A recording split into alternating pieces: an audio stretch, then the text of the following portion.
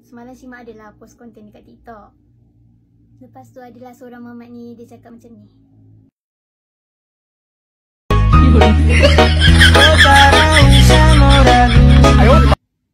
Apa guna solat tapi tayang body?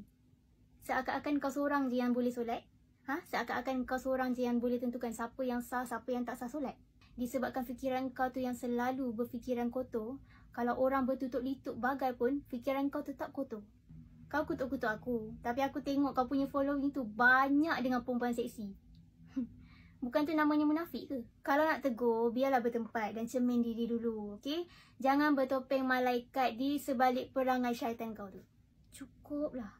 Kau judge orang tu, kau cuma lihat daripada luaran dia saja.